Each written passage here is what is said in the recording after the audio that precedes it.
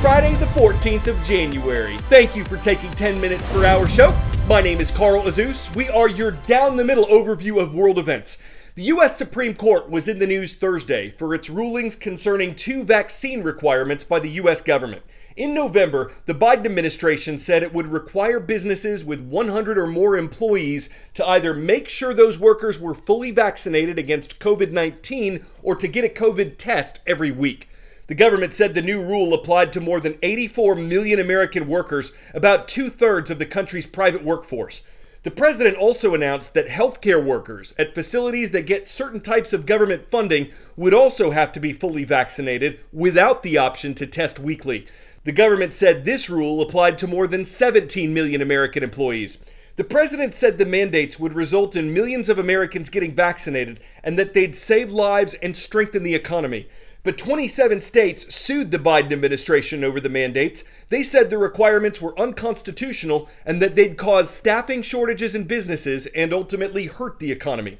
Concerning the mandate on businesses, the Supreme Court struck it down. The majority of justices said the Biden administration went too far, that the government's job and health safety agency doesn't have the power to require vaccinations for 84 million Americans. In dissent or disagreement with the decision, three justices said it prevented the government from responding to the pandemic in the quote, most effective way possible. Concerning the mandate on healthcare workers, the Supreme Court said it could take effect, meaning healthcare workers at facilities that receive Medicare and Medicaid funding can lose their jobs if they don't get a COVID vaccine. The High Court's decision on the business mandate is considered a defeat to the Biden administration's efforts to require vaccinations nationwide. But the White House said it still encourages businesses to put their own vaccine requirements in place. 10 second trivia. Which of these U.S. cities was named for a Native American leader? Cincinnati, Ohio, Fayetteville, North Carolina, Pittsburgh, Pennsylvania, or Seattle, Washington? Chief Seattle, a Duwamish Indian leader, is the namesake of the Washington city. Would you pay more than $1 million for a one bedroom apartment in a tower that is leaning? We're not talking about a historic tower like the one in Pisa, Italy. We're talking about the Millennium Tower in Seattle, Washington. The $350 million structure was opened in 2009, and since then, as it settled into the ground, it has leaned a total of 24 inches to the west and almost 8 inches to the north. Is this normal? Not these days. The Millennium Tower's uneven settling has caused cracks in the sidewalk and in the basement walls of the building next door. Why is this happening? Experts say nearby construction projects and the removal of groundwater contributed to the problem. Is this safe? Engineers say it is, but owners aren't happy. And in a $100 million repair project, workers are installing new supports to shore up the building and help reduce its tilt. The sky has long been a fascination, a realm of the gods and civilizations have been building toward it for centuries.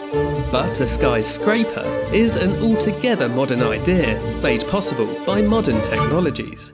Skyscrapers are really an American invention. The first use of the word was around the 1880s.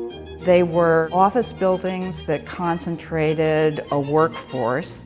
They employ technologies like the elevator, like steel construction to build very efficiently and to pile a lot of space onto a small piece of land. By using steel frames for structural support rather than heavy masonry walls, architects were able to get creative.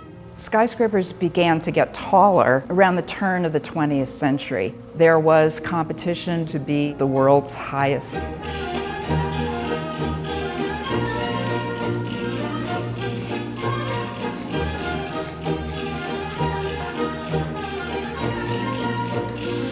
and that pinnacle tower becomes so intimately connected with modernity. Skyscraper hitching post for the great airliners of tomorrow. The Empire State Building never actually moored blimps, but it gave that aspiration. After World War II, a new kind of technology of glass allows for the curtain wall. Windows you could open made way for giant glass walls. They gave more floor space and natural light, but fresh air was shut out and replaced with air conditioning. The 1960s and 70s. That was the period of the World Trade Center with the Twin Towers. The Sears Tower in Chicago got a little bit taller. But it was also the end of an era as American cities began to suburbanize and spread out.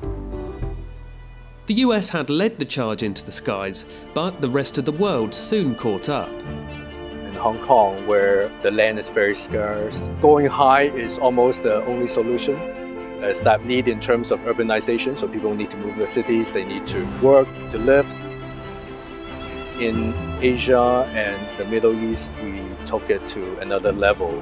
Every city wants to have this landmark that gives that uh, sense of distinct culture. From the end of the 20th century, architects in the East have been developing new techniques to beat the wind and climb even higher. You want to design a shape that is not square. You want rounded corners or faceted corners so that it takes pressure off the building when the wind hits it. You design the building to sway a little bit.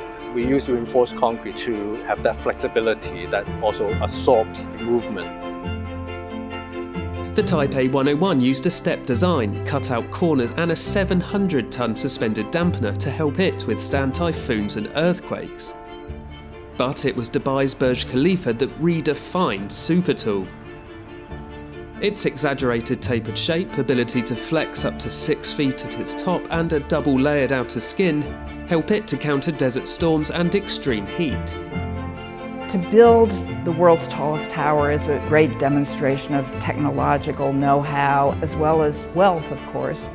But the vanguard of architects has been very focused on sustainability. We want to design something that's as sustainable as possible in terms of the spaces, the use of materials. Tall buildings is sustainable where we can have a lot of people in a small footprint but we all understand that building in itself is taking resources from the earth.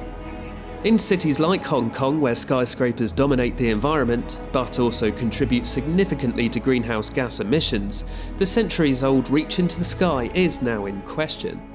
Skyscrapers become complicated negotiations between the way that we want to live in the future and the possibilities of how we can. There are many different approaches of culture, of government, of public policy that either constrains or enables skyscrapers.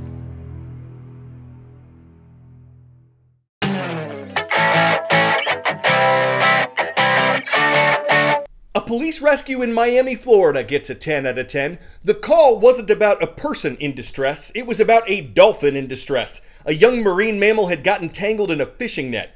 A Marine patrol officer sailed out to the dolphin, pulled it close to his boat, and started cutting the net to set the animal free. It's okay. It's okay. The dolphin did not cooperate at first, but after a few patient attempts.